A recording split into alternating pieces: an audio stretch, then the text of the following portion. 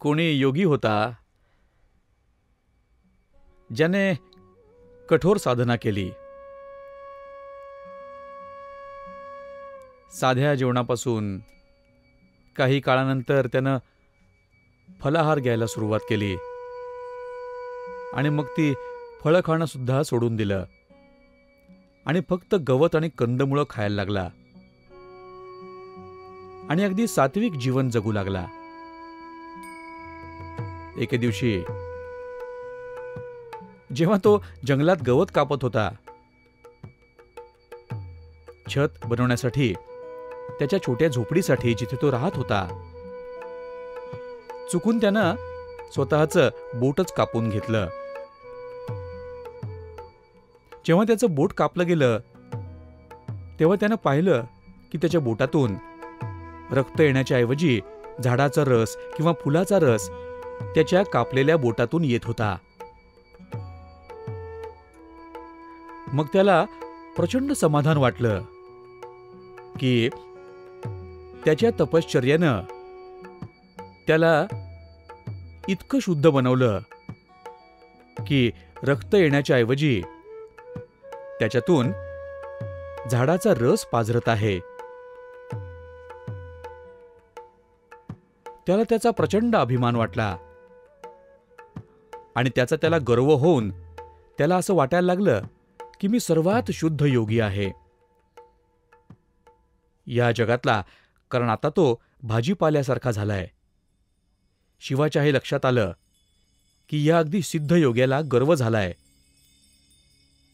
मग शिवानं एक योग्याचं रूप घेतलं आणि त्याच्या वाटेनं चालत आला. तेव्हा त्यानं त्या योग्याच्या चेहऱ्यावर प्रचंड अभिमानाचं स्मितहास्य बघितलं. आणि मग त्याला विचारलं हे काय? हे हास्य तुझ्या चेहऱ्यावर कशाबद्दल आहे? तुला कशाचं एवढं समाधान वाटतंय?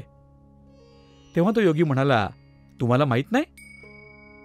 ही बातमी सर्वत्र पसरली आहे की मी सर्वात शुद्ध योगी आहे.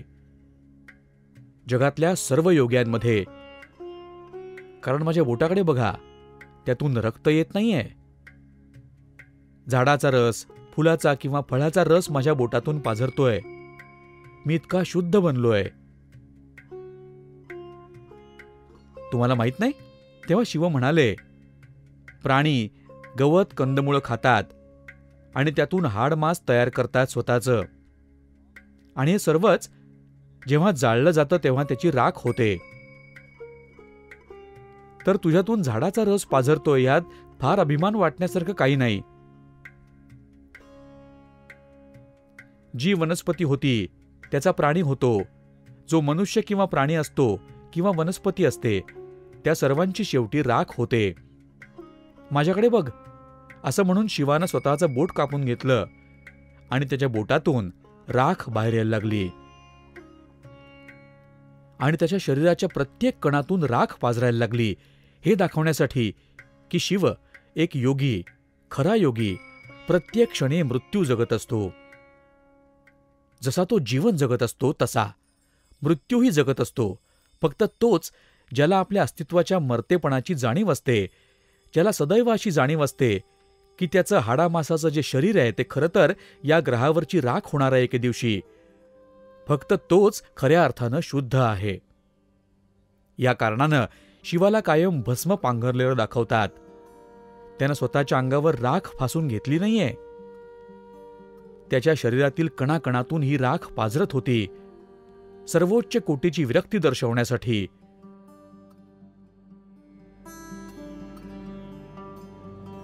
सर्वात मूलभूत साधना हीच आहे की तुमच्यामध्ये एक प्रकारची विरक्ती आहे. इतर सर्वांसाठी प्रचंड प्रेम आणि उत्साह पण माझ्या स्वतःसाठी विरक्ती.